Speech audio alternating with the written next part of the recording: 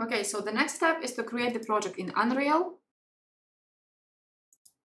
I'm launching this. Okay, click in game. Uh, very important, we are selecting the third person.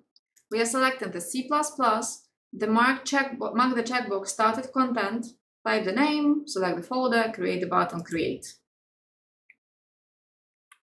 Okay, now we will enable the plugin. So edit, plugins, search for the S3D,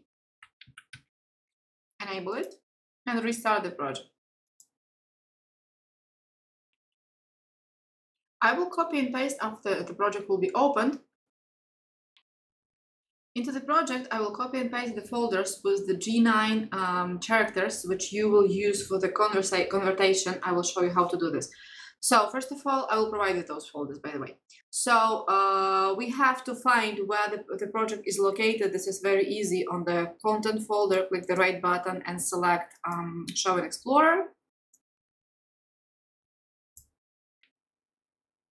Okay, it will be this G9 uh, pose. Copy it here, deactivate it.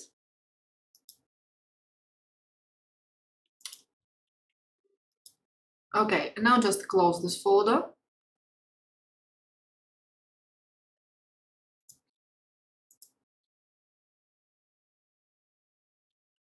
Okay, we will not import those, so don't import because they are already done all of those files. Excellent. Now we are going back to the DAZ. In DAZ, the character is uh, selected.